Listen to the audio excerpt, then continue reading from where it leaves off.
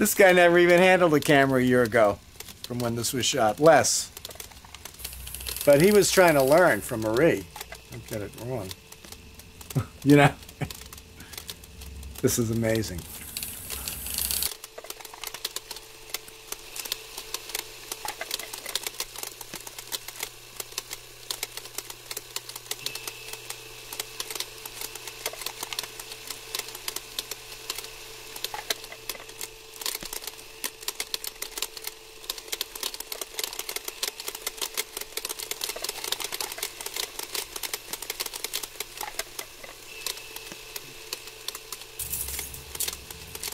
To think that this this film is resisting extinction.